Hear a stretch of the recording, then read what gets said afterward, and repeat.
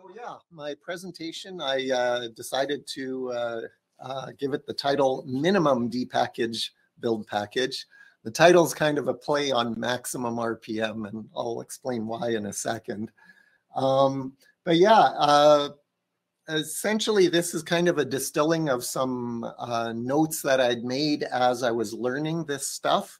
Uh, plus, uh, as I decided to do this presentation, I went looking for other resources online that uh, kind of expanded my knowledge, uh, which is still kind of in the infancy stages of building um, uh, deb packages from source. Uh, so just a little bit of background about me. Um, those of you who've known me for a while know some of this early stuff, but yeah, I've been working with Unix of one sort or another since 1979. Uh, started with um, uh, Bell Labs, uh, AT&T uh, version 7 Unix. And um, after um, uh, starting in my current job at the U of M in 1989, I uh, then transitioned to working at the time with uh, DEC Ultrix and then Sun OS 4 and then Solaris. Um, and uh, started with Linux fairly early on, but a few years into its existence. Uh, started initially with the Slackware distribution. Um, quickly transitioned to Red Hat when we got a couple of um, DEC Alpha 64 bit architecture systems. Uh, and they came with uh, Red Hat Linux workstation pre-installed on them. And so I made the switch from Slackware to Red Hat and there was no looking back for a long time. I, I stuck with Red Hat and Red Hat clones for many years since then um, and still maintain Scientific Linux, CentOS, Alma Linux, uh, you name it. Um, but in more recent years, I've had to start supporting uh, uh, Ubuntu systems, especially, and then um, uh, started dealing more with Debian-based distributions when the Raspberry Pi came out. Um, and uh, so, yeah, I've I've been working with uh, uh Raspberry Pi OS in one form or another for almost a decade now but somehow managed to avoid having to build packages from source until about April, May of this year. Um, having a, a, longer history with Red Hat, I became familiar with the RPM build process. Uh, but I am, as I said, still very new to the build process under Debian. Um, I did find the Red Hat build process daunting at first, but uh, an excellent book at the time uh, written in, I think, sometime in the uh, late 90s or early 2000s. I'm not sure exactly when. A book called Maximum RPM that really explained the whole ecosystem of RPM and, and how to build it, uh, build um, uh, packages from source in that environment. I haven't found an equivalent to that for the Debian world. I've found a bunch of tutorials and reference material online that all give kind of partial pictures of that. So I'm still looking for that one, you know, um, tome that that explains the whole process. Um, yeah. well, this is kind of my my early first stab at it, and hence the the, the play on the name Maximum RPM.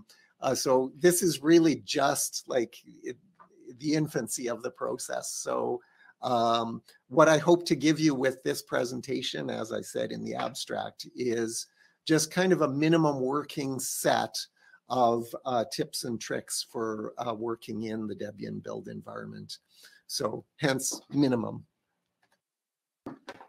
So just uh, if you're wondering why uh, someone would want to build packages from source, um, I mean, if you're coming from the Red Hat environment, this this may not be a surprise to you because there tends to be, uh, I don't know, maybe a little bit more limited amount of stuff that's available pre-compiled in package form. So every once in a while, you need to to build packages from source. With Debian and with Ubuntu, there is so much, if it's not available in the, the native repositories, there's so much third-party repositories available of precompiled binary packages for those distributions. But every once in a while, you do come across a package that you can't find a precompiled binary for it.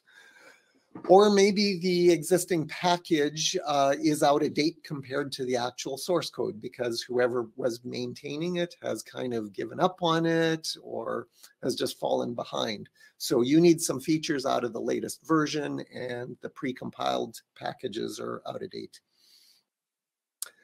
Uh, another reason might be that you need a configuration that is somehow tweaked differently than uh, uh, than what is available in the precompiled package.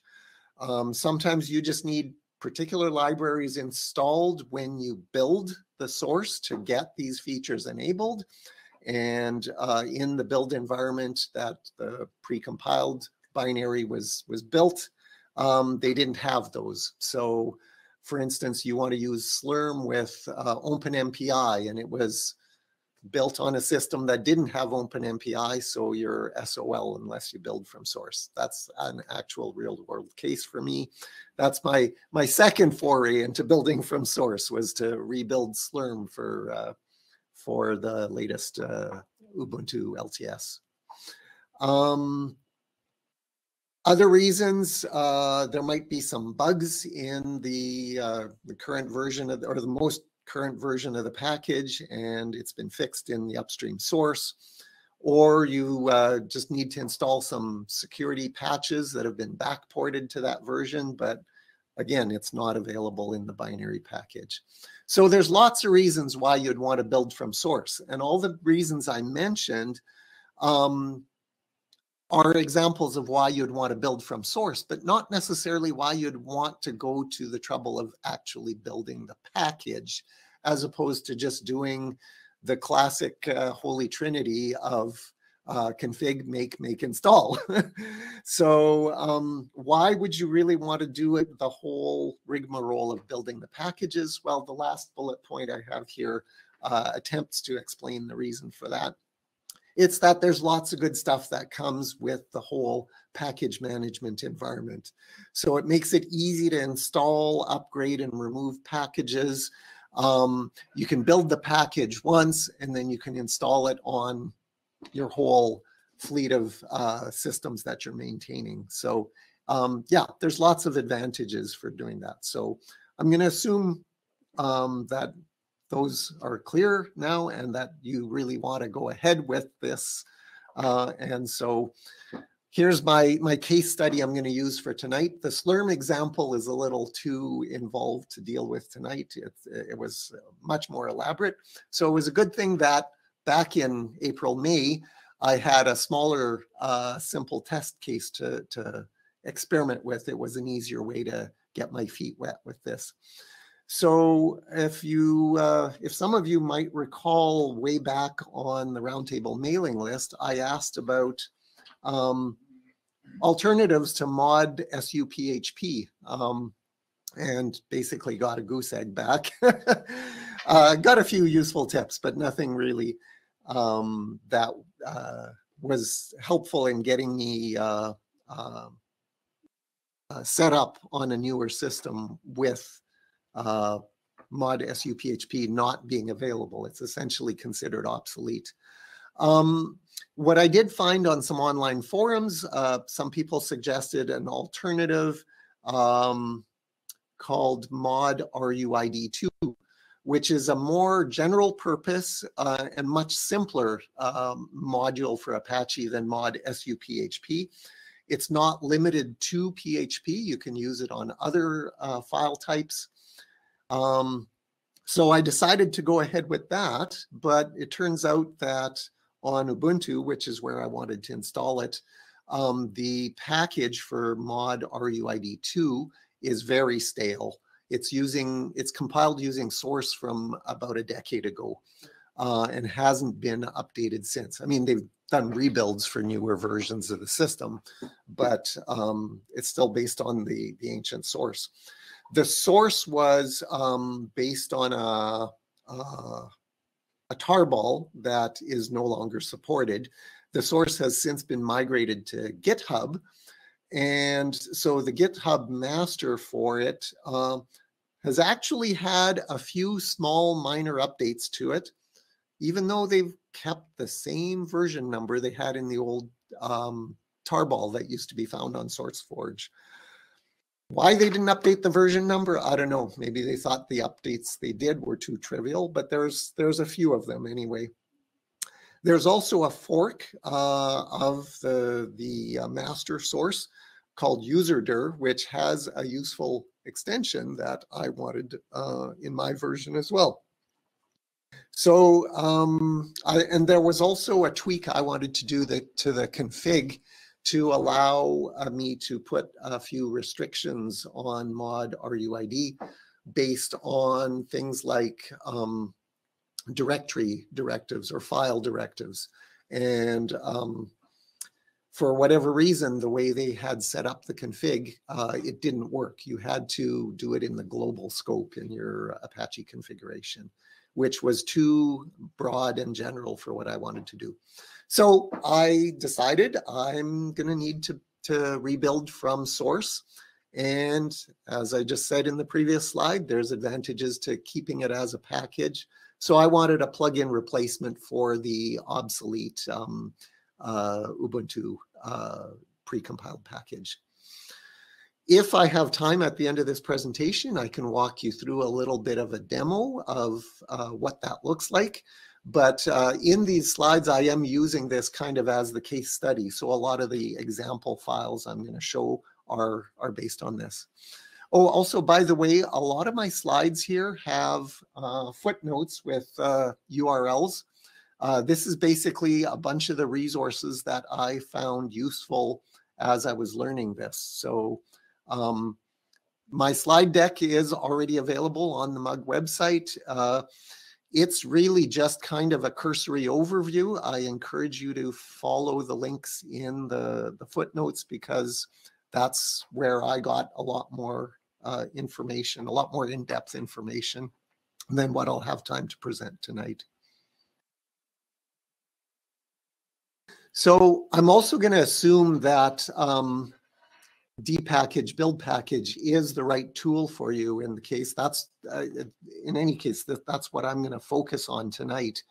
Um, it is the right tool to use if you're starting with um, installed package source. In other words you've gotten the source debian package and you've installed that so you've expanded it out into the source tree.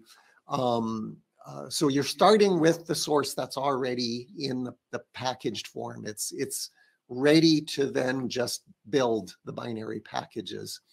Um, so yeah, uh, if if you're getting the source from other uh, sources than an actual Debian source package, uh, there are other tools in the Debian build ecosystem that might be better suited to the task. Um, so for instance, if you're just starting with a tarball as source or with just a plain Git um, uh, source repository, um, th there are other ways. I'm not going to focus on that for two reasons. One, I don't have time tonight, and two, I don't have the experience. My experience has been with using uh, dpkg-buildpackage I just know there are other commands out there that let you uh, work at either a higher or a lower level uh, with other types of source. Um, so yeah, some of the tutorials that uh, I link to in the footnotes uh, do talk about those. So I encourage you to look into that if you're interested in a different entry point into this So um, before you actually uh, are ready to build your packages from source, um, most of the tutorials give you a few preliminary steps you need to do. And the various tutorials, depending on their age and who wrote it, they might uh, give you a different list of steps to follow. I've distilled it down to a few of the essential steps that I uh, found useful. Um, the first step is you need to install a few packages that contain all the tools you're going to need. Um, so most of the tutorials recommend you install a package called Build Essential, Deb Helper. Some of them also uh, suggest you install Quilt um, and an environment called FakeRoot. Um, some of these may not actually be necessary. Quilt is only going to be necessary if you're going to deal with patches, which in a lot of cases will be needed. So um, you may as well just bite the bullet and install it from, from scratch um, the first time. Um, the ones that I've listed in italics on that first bullet point are some that have been recommended in various tutorials, but uh, the tutorial I was following initially didn't recommend those, and it turns out I didn't need them for what I was doing. So I've included them just in case you might need them, but um, you may not. Your mileage may vary. Um, FakeRoot, I believe, now comes as a standard dependency on Deb Helper, so you may not need to list it explicitly. Um, the second bullet point, uh, the one of the tutorials recommended you add a couple uh, exported environment variables into a file like your bash RC. I didn't do that when I was starting out, and I didn't really notice any downside to that, although maybe my binary packages are missing some useful information in there. I don't know.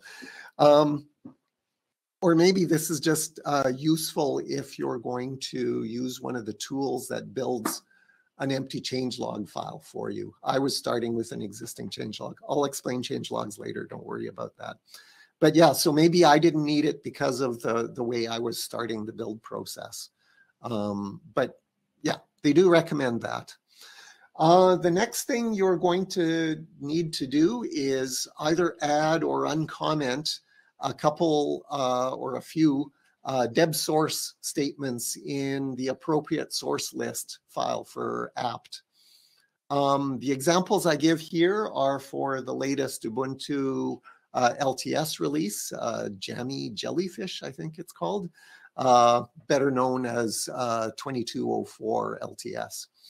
Um, so yeah, this essentially uh, lets you do uh, apt source commands to download uh, source package and unpack it uh, so that you're ready to start building from source. And then, of course, uh, each of those source packages you're going to work with is going to have its own particular tools that it needs to get it built. You might need certain compilers. You might need certain build tools. You'll most likely need certain uh, dev packages for particular libraries that are needed. So that, of course, will vary depending on what the package is. So uh, all I can mention is that in general, you're going to need to worry about installing some other packages. Uh, but there are ways of getting that done fairly simply as well. So yeah, once you've uncommented those deb source files or added them in your, your apt uh, source list, um, you're then ready to run apt source and whatever package name. So for whatever binary you had or don't want to use, uh, you can do apt source on the same package name and it will load into your current directory um, uh, the whole source tree for that package. It'll start by downloading the package, the source package, and then it'll unpack it into the current directory. You are supposed to run all of this and including the whole build process as a non-root user. So don't be running apt source as root. Um, you should have uh, done a CD to whatever is the top level source directory where you want to do all your Debian builds. Um, some of the tutorials recommend building a, an initial build structure. They recommend a top level directory you can use. I just already had a SRC directory under my home directory. So I created a deb subdirectory under that and all of my packages go under that. So, but you know, you, you put it where you want to. Um, and yeah, so so apt source will install all of that content under your current directory. So you want to make sure you CD to that top level directory first. What does the source directory structure look like? Uh, in general, kind of like this. Uh, so whatever top level directory you've set up, uh, you're going to end up with a whole bunch of packages being built under there um, or uh, being loaded into there. So for every binary package you build, you're going to have a .deb, you're going to have a dot um, orig dot tar dot some suffix based on the compression used for the original source tarballs.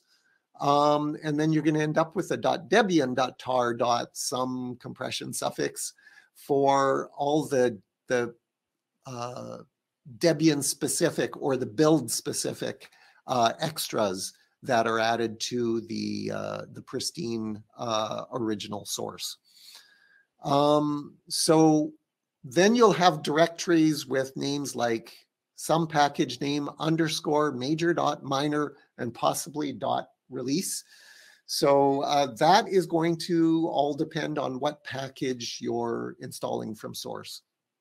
So in my case, I've got um, libapache 2 hyphen mod underscore ruid 2 underscore um, some major version, some dot, some minor version, uh, and and then under that directory is where all of the original source is going to get unpacked. And as well, there's going to be a Debian subdirectory.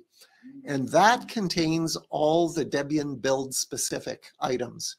Um, for those of you familiar with the RPM build environment, essentially that is everything you would have in your spec file and in your sources subdirectory uh, for uh, RPM build. Um, it all would be in the Debian um, subdirectory. And this, the equivalent of the spec file is broken up into a number of different files. You've got a changelog file, you've got a control file, you've got docs files, you've got uh, a files file possibly, uh, you've got a rules file.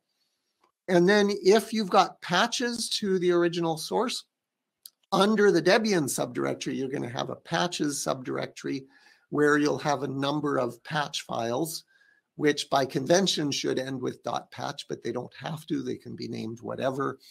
Um, all of those patches will be listed one per line in a file called series. And as the name implies, it lists the series of patches in the order you want them applied. So one file name per line in the order you want them applied. Okay. Let's take a look at some of these meta files. I'm starting with the changelog file, which seems like a strange place to start, especially if you're uh, thinking in terms of an RPM build spec file that'll have a changelog listed within it. You tend to think of changelog as just documentation, right? So it's the last thing you worry about. But actually, changelog in the Debian build environment is quite special. It's got a very specific syntax for particular lines in there. And I encourage you to check the man page in section five for it's called deb-changelog. It will explain a lot of the details about the format, but I'm going to draw your attention to two lines in particular, which um, hopefully those folks at home uh, can see my mouse cursor pointing to this top line. So the top entry in your change log is the most current one. You always build like you you you start the the file with your most current version and then below that will just be all the previous ones. So all the previous ones are kind of ignored. They're there just to keep a historical record of uh, all the previous changes. So they are there just for documentation. But the current entry at the top of the file, the first line um, indicates, oh, where's my, yeah, um, the name of the package and the version of the package. Um, and those will actually be used to generate the file names for uh, the, the target binary packages you're going to build. So um, it's important that you get those right here. And um, in the version numbering, uh, there's various conventions. Uh, as I mentioned earlier, there's usually a major, a minor version, and maybe a release version. And then typically there'll be a hyphen, and then there's a package release version. Um, and so that would be for a particular upstream source um, major, minor, and release version. You might end up with several different package releases if all you're doing is you're changing the the the Debian package metadata, uh, or you're changing something in the build process. You're changing some of the options in the way you're building this thing. Uh, then you're only going to increment that uh, that number after the hyphen. Um, and then you may be wondering what this plus NMU is. I was wondering at first when I started seeing that, and some of the tutorials recommend that. You, if you're building your own version, add a plus NMU. Had to look it up to find out what NMU actually stands for. So I included a convenient link here. It turns out it stands for non-maintainer upload. And there's uh, basically a wiki article, uh, debian.org, that explains what that is. And essentially, that's if you're going to go through and build a package uh, and then submit it uh, for inclusion in Debian or uh, in other uh, distributions. Uh, you, it's referred to as a non-maintainer upload because you're not the primary maintainer of that package. You're just providing an upload um, for consideration by the maintainer. Um, and then what I've also seen is after NMU, you can actually put another release number, which would be if you're going crazy and doing multiple releases of uh, the, the maintainer's release, but you're doing several of your own tweaks, you might increment a number after the little NMU tag, uh, just to distinguish between your versions. Um, the, then after that, you have a blank line, which is mandatory, a number of indented lines, which can have like um, uh, stars or hyphens or something. Uh, typically, you'll use stars for bullet points, and th that's just documentation. It's not going to parse that. But the blank line before and after that block is important. And then you have a maintainer line here, which uh, starts uh, with, I believe, like one or two spaces of indent, and then two hyphens, your name, email address, and a timestamp. Now, the man page for deb changelog mentions all of this format, but it fails to mention a very peculiar feature about the timestamp. The reason is that isn't an, an original feature, I believe, um, but it does something very weird. And I found out the hard way that um, whatever timestamp you put there is going to be used as the quote unquote current time in the build process. I don't know if it's through the fake root environment or through some other magic with uh, that they do with timestamps. But essentially, anything during the build process where you've got the current time, like anything that gets compiled, those files will be timestamped, not with the actual Unix clock time, but with this timestamp. So make sure you get it in a format that is parsable. I just used a consistent format with the previous uh, changelog file entry, but I believe it it's it's probably like the uh, oh what's that function that is used for parsing the time. The date command uses it and all of that. There's there's one of the C library functions. Yeah. strftime. That's the one. strftime. So I believe you've got a lot of flexibility in how you provide that that string, but I haven't tested that. So don't take my word as gospel on that. But yeah, that timestamp is important.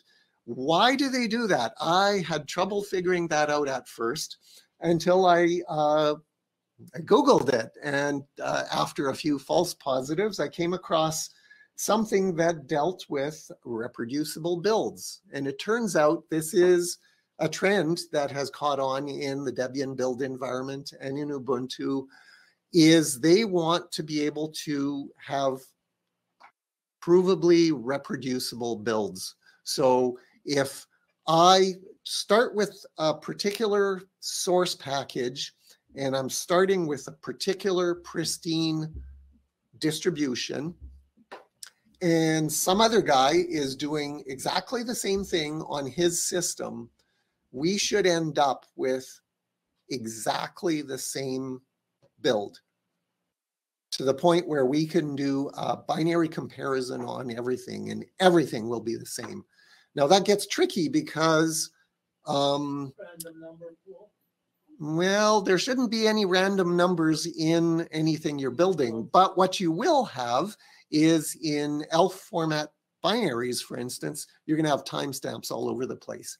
Turns out, even if you strip the symbol table, you've still got timestamps in the header and possibly in other parts of the file. Um, and so, yeah, if you want your binaries to be bit for bit identical uh, to show you've got a reproducible build, you need consistent timestamps. And so that's the reason for doing that.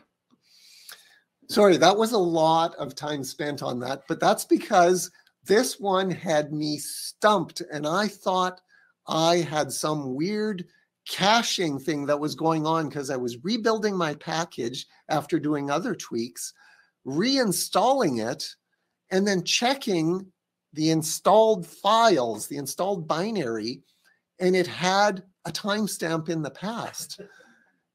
And I would delete the installed binary, reinstall it, and still have the same behavior. And I was just baffled by this at first until I found out what was going on. So um, I'm hoping by this very belabored, belabored explanation that I'll, I'll save you some time down the road. All right. So that was the um, changelog file. Um, and as I said, it's more important than just documentation. Um, another very important file, this is where essentially all the package metadata will reside. So this would be kind of like in the RPM uh, spec file, this would be that top section with all the headers. So um, you've got uh, typically about two or three sections in here. Uh, one of them is uh, all the metadata for the source. So um, you will have a bunch of uh, uh, tags with colons, keywords, colon, and then some value. So you will give the package name. You will indicate what section um, it's supposed to go into. And that that is basically the, their ways of classifying packages into a bunch of groups or sections. Um, some of this I don't even really know exactly where uh, or what what the implications of it are. But again, there's a man page that will explain all of the um, the format of the control file and also details of each of the field values that are are possible. Um, just a couple things I'm going to point out here is the stuff highlighted in red.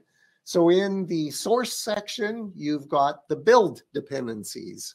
Um, and as I mentioned in one of the earlier slides, this is where you're going to need to, to specify any specific libraries or other um, packages that are going to be needed in order to be able to successfully build this on a particular system. So if you need some weird compiler that isn't going to be there by default or any other development tools, uh, this is where you would specify them.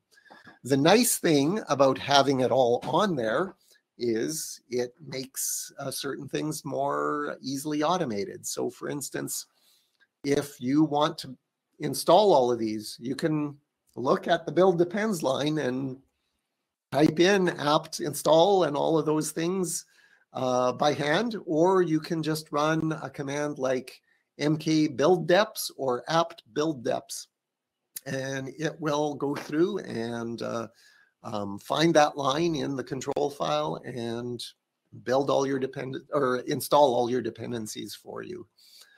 Um, and then in the package section or sections, you can you can actually have a large number of binary packages that correspond to one source package. Uh, and yeah, anyone who's done builds in other environments, including in RPM, would be familiar with this concept. Um, from one source package, you might break it up into a number of smaller binary components, some of which will be essential and some of which will be optional. Um, so yeah, it turns out this one's a fairly simple one. So there's just one package definition. And the one line I wanted to point out in there uh, that is uh, important is the depends. So this is runtime dependencies. This is uh, what you need to have installed in order to be able to successfully install and run the binary package, not the building from the source. Um, the rules file is essentially a make file, but a very specific make file. It's a make file with a whole bunch of um, predefined uh, macros, I guess you could call them, that are specific to the uh, Debian build environment. Um, and so, uh, yeah, what else here uh, is worth highlighting? Oh yeah, um, this this one is is I, I, didn't change this at all, and I wouldn't recommend you go in and change these unless you really know what you're doing. Um, hopefully, for the package you want, there's already a working rules file, and you can just use that. Uh, if you're building from completely from scratch, um, there are ways of getting like some of the, these meta data files built for you um, so that you don't have to do it completely from scratch. Um, there's also on one of the slides, I think I had a link to a, um, there's essentially a hello world source package that you can install that gives you like a very minimal template uh, set of metadata so that you can then just use that as, as a starting point for your own build from source. Um, so yeah, it essentially builds a simple hello world program, but you can swap in whatever program you want and then just start tweaking things as you need to. Um, anyway, uh, yeah, so this particular uh, rules file came with the, the um, mod RUID2 uh, source package that I installed, and it already had some patches uh, in it. So it uses something called Quilt. I'll explain that a little later. Uh, but yeah, there's this include line in here to uh, get the Quilt make uh, rules uh, loaded into there. that's just so that you can do all the package, the patch management for your package. And then there's a bunch of other lines here that are clearly specific to this particular module. So uh, the destination directory, um, uh, there's a few of the rules here that are going to be specific to the way this is an Apache module. So you use something called APXS2 to build it, to essentially compile the C source with all of the uh, needed uh, baggage uh, that comes with Apache's build environment uh, so that you can get uh, a runtime loadable module. Um, and uh, the rules file goes on. Actually, I, I, even at this small font size, it took me two full slides to get it all in. I don't know what a lot of this stuff does, but yeah, this is stuff you don't want to mess with unless you really know all the details. But essentially, it just goes to show that there's a lot of separate um, steps involved in the entire build process. And uh, so the Debian helper stuff, all these DH underscore commands or macros are part of the, the, the debhelper environment uh, that we installed earlier. So um, so yeah, there's a, a few standard targets to the make file. Um, there's build, install, clean, and then there's binary and binary arch. And so yeah, all of those steps mean something. There's a man page that explains it. Um, again, a lot of this is beyond me. Um, but just yeah, be be forewarned that if you're going to customize this, you may need to start customizing a few of the the make uh, file rules in in this rules file. Um, or you may be lucky and it's all done for you, like was the case in in the two packages that I've so far built from source.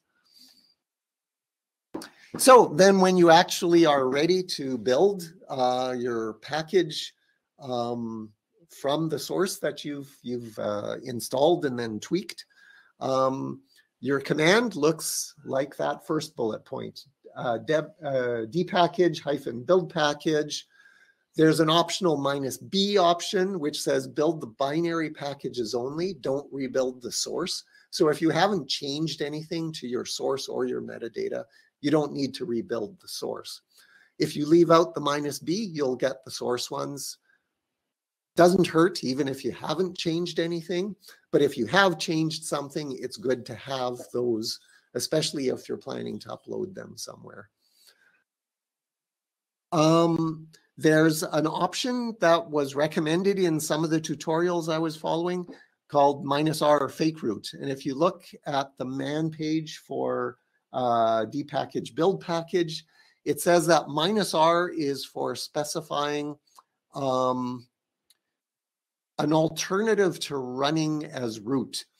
And it's essentially a command that is going to uh, preface a bunch of the build steps.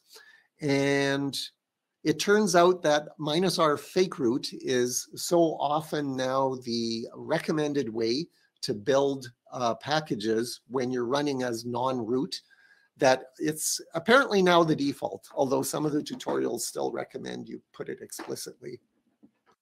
Um, but according to the man page, it's now the default. The next two options, if you're not already set up, set up for signing packages, you will need these, otherwise your build will fail.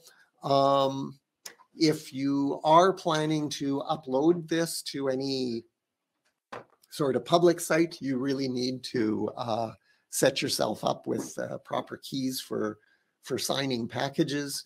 Um, but yeah, if you're just building these for internal consumption only, um, uh, minus UC uh, is to not sign the build info and changes file files, and minus US is to not sign the source packages that get built. And uh, another note about this is you run this within the top level directory of the specific package that you've installed. So not the very top level directory I, I had mentioned on this slide here, but the package specific directory. So that's where you run dpkg-buildpackage and a bunch of the stuff it's going to build, it's going to build in the directory one level up. So it matters not only where you're located, but what's sitting above there. So you really want to have the proper tree structure set up ahead of time. So I mentioned patches earlier, and I mentioned something called Quilt. Quilt was something I wasn't familiar with until I started looking at uh, building Debian packages. Uh, so it turns out um, it's kind of like the patch command on steroids, but with some very severe restrictions as well. But there may be a way around some of those restrictions. Um, so quilt essentially is what goes through the series file in your patches subdirectory of the Debian subdirectory.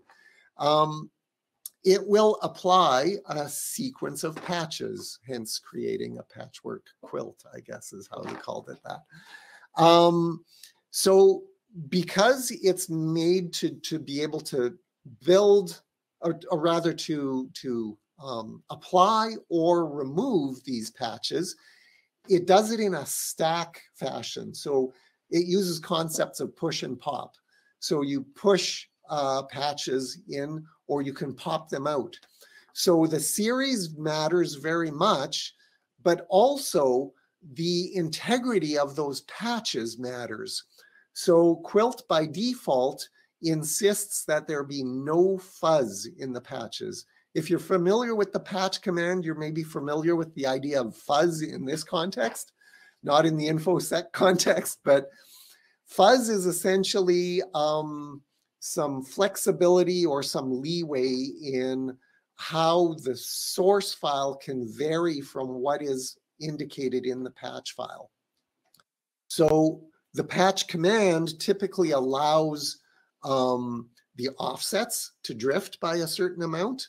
So a particular uh, um, patch subset in a patch file um, doesn't have to be at the offset that's listed in the patch file. It can it can drift from there.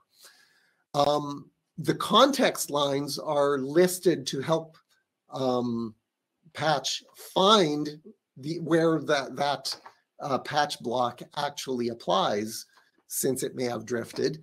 Um, the fuzz is how much those context lines are allowed to change before patch just gives up and says, dude, you're on your own. I can't deal with this. It, it doesn't look anything like the patch file says, or it doesn't look enough like it. So to me, this with the restrictions on quilt seemed very bass backwards because to me, the whole beauty and strength of the patch command was that it had that flexibility. It allowed things to drift. It allowed for fuzz so that you could apply patches to source that might have changed slightly in the area around the patch you wanted, but not exactly on the line you were trying to change. Very useful, especially when you're trying to apply existing patches to a slightly newer version of the upstream source. Um, I guess the idea with Quilt, because it wants, again, this reproducible build idea, maybe, uh, but also the idea that you want to be able to uh, be able to apply or undo a whole sequence of patches and have it work exactly without fail. Um, by default, Quilt allows no fuzz, no drift, nothing. And it will just abort if there's any change whatsoever from what it, it's expecting. Um, what else did I want to say about that? Yeah, so all of this makes applying the patches to anything that's newer um, a little bit tricky. So there are ways around that. But before we go into that, let me just go into um, some of the files that Pat, that Quilt is going to deal with. Um, so in that patches subdirectory, as I mentioned, there's this series file. This is exactly what it looks like for um, my current modified version of the mod RUID2. Um, the first few patches were already there. Uh, some of those after that I added to essentially get the GitHub source uh, from the userdir fork. Um, so I've set up a bunch of patches so that I can go from the original tarball from 2013 to what the GitHub source looks like in the userdir fork, plus the last three patches, which are for my own changes. Uh, one was to tweak the config. One was uh, to handle um, the group list when you want an empty group list. Um, and one was just to do some logging uh, in one particular case. So uh, typically the idea is if you're going to add patches, apply all the existing patches first, make your change, create uh, a context diff file based on that, add it to the series file. And as long as you go strictly in a forward linear fashion like that, you should be good. Um, if you try to apply your patches in a different sequence, or if you're applying a patch or you're using a patch file that assumed um, pristine source without the previous patches applied, Quilt is most likely going to give up on it. Um, so you'll you'll need to work around that. And uh, here's just kind of maybe not a so uh, not so much a typical patch file, but this is the one, this is the only one I could get to fit on one slide. So it was the most trivial of my patches. It's essentially um, a two-line source code edition uh, with one blank line as well. So yeah, hence the three plus signs in the middle block there. So it's basically just if we're in a particular uh, config mode, um, add a log entry uh, to the, the log file. Uh, so this was the most trivial patch. So this is this is why I put it in there. Wanted to draw uh, your attention to um, the lines that indicate the file names. If you're familiar with patch files, you've probably already seen this. It's like a diff minus u context diff file. Um, so the unified uh, context diff notation. Um, the line with the pluses is essentially supposed to indicate the file name of the target file. Uh, the line with the three minus signs indicates the previous version of that. Um, I might be wrong about this, but I believe with Quilt, any previous path name components to the uh, actual base name of the file don't matter. You can have any number of levels it's going to find that source file for you. Possibly just in a strictly descending sequence, though. I'm not sure. Um, I, I might be overly generalizing. All I know is that the the top directory name, like I've seen patches where you had A slash and the original source name and B slash and the original source name. It didn't care. Like the, the A and the B don't match the current directory names of your source. It finds it anyway. Um, so it's kind of the equivalent of patch minus P1 in that case. But I've seen others where there was no directory name leading into that. It was just the base source file name. So then that would be like patch minus P0.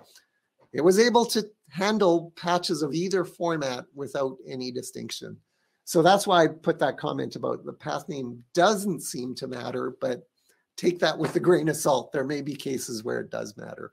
I don't know about if you've got subdirectories in your source tree, whether you might need to specify those, but anything above that doesn't seem to matter.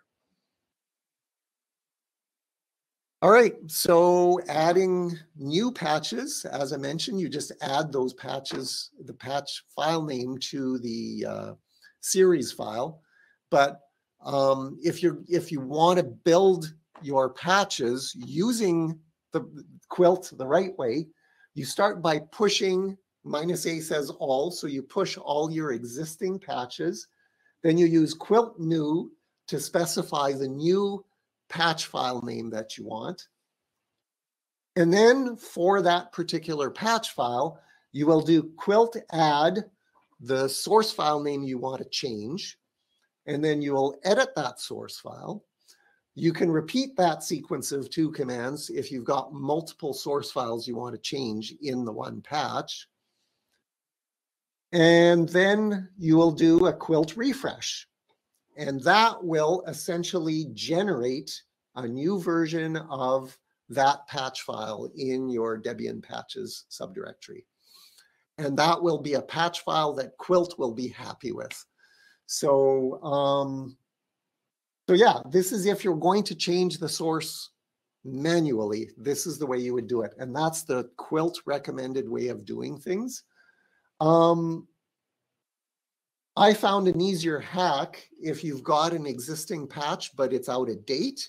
In other words, it's got some fuzz. Um, you can apply it manually. You do a diff minus u to get your your updated patch file and just overwrite the previous patch.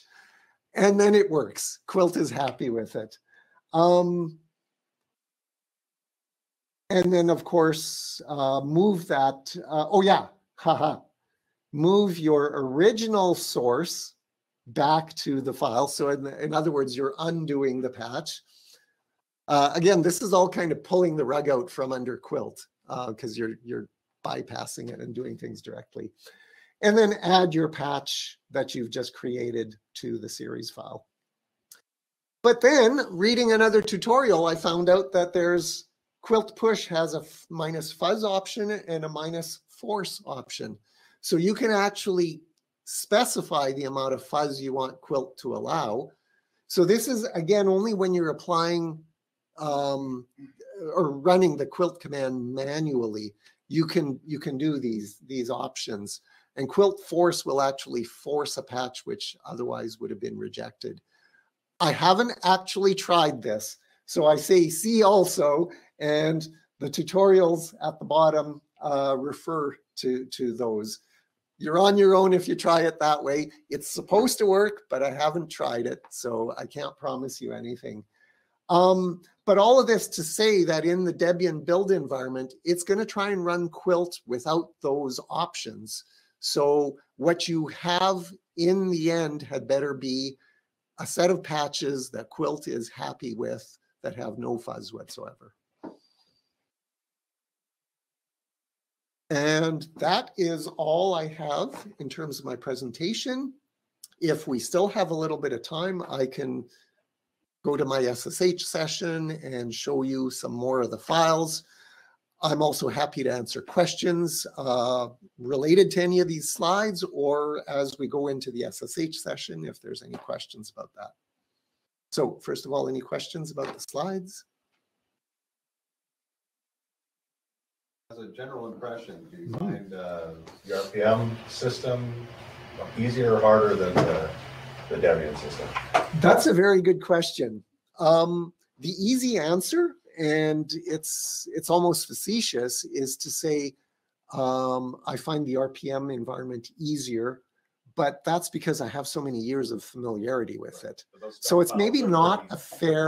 Too, right? Yeah, in general, I've found like the whole Debian build environment. I think has a longer history to it than RPM build.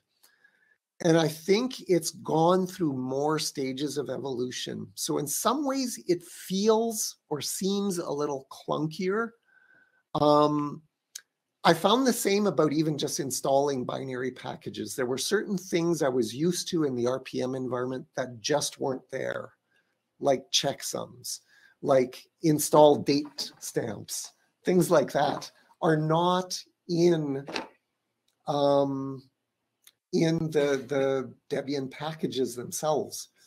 Uh, checksums are there as metadata, but you have to load it separately. And there isn't an equivalent to RPM minus V to verify uh, an installed package to make sure it's still untampered with, right?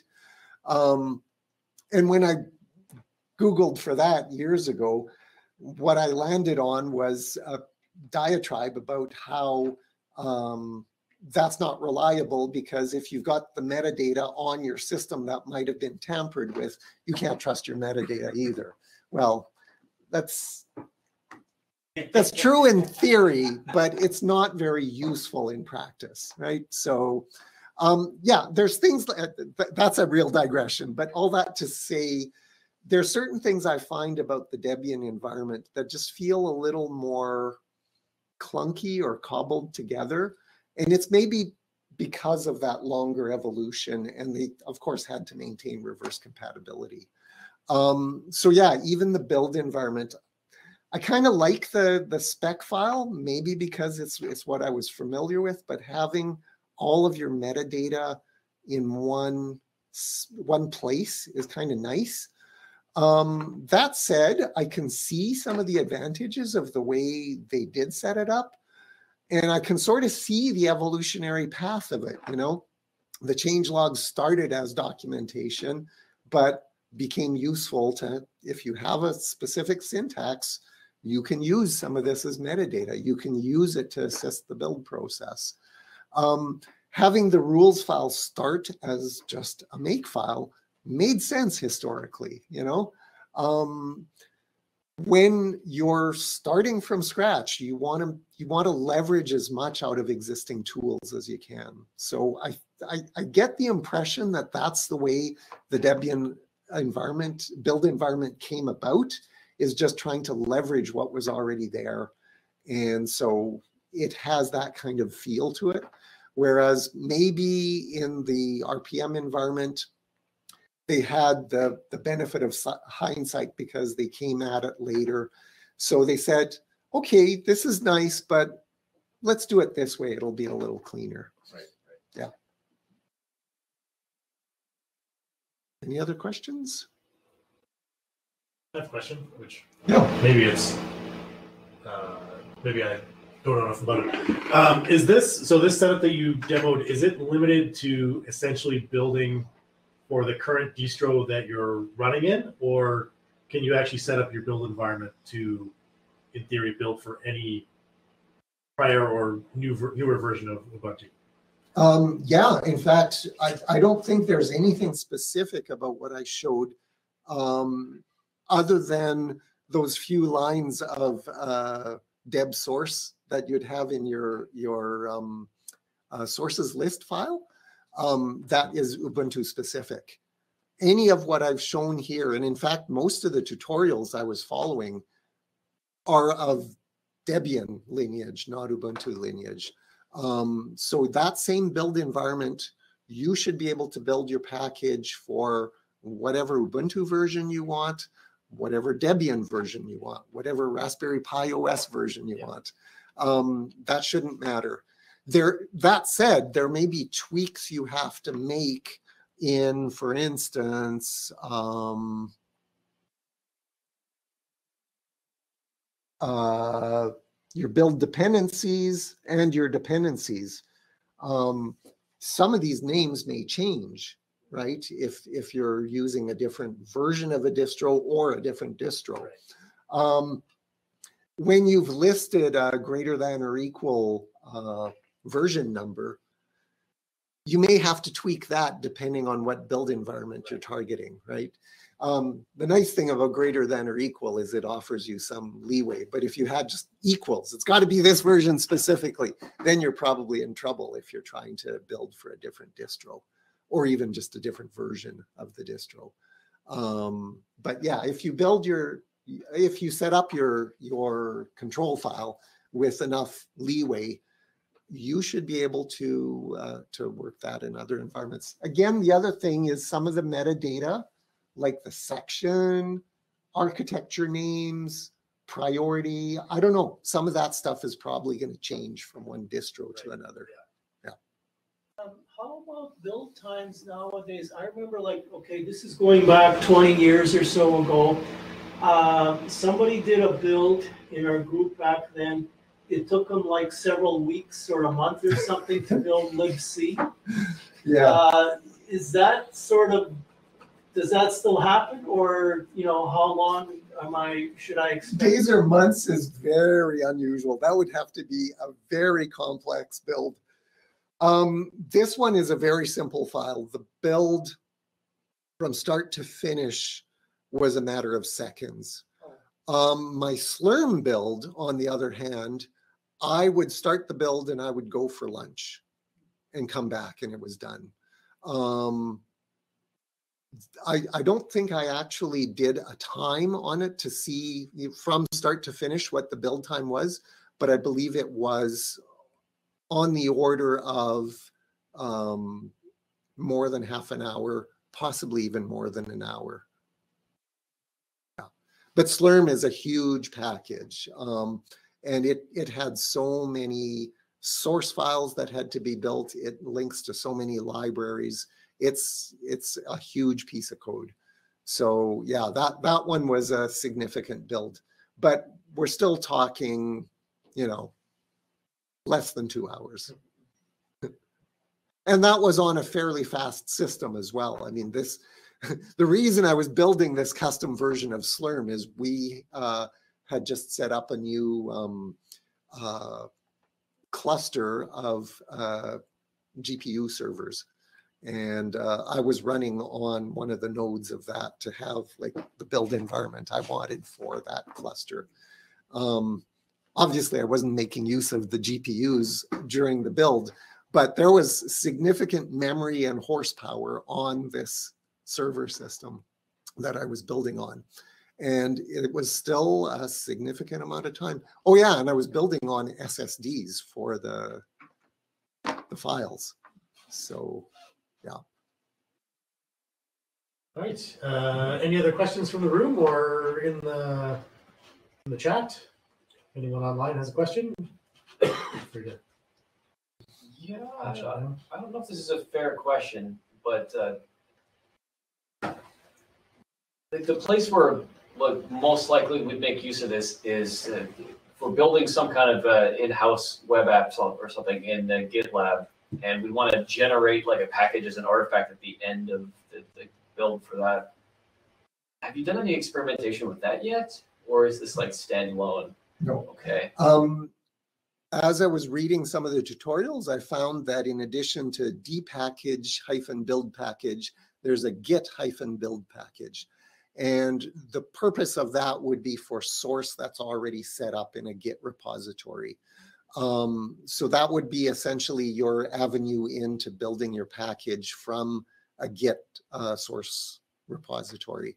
Um, that's about all I can tell you. I haven't actually tried working with that.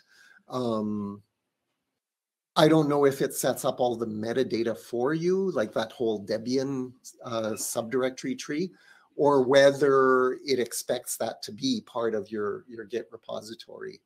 Um, I know there are commands, I think debuild is one of them that uh, will let you work from just a source tree and it will create like the the template uh, Debian tree structure uh, for you, and then you go in and you you tweak your various files, the change log, the control file, and the rules and all of that.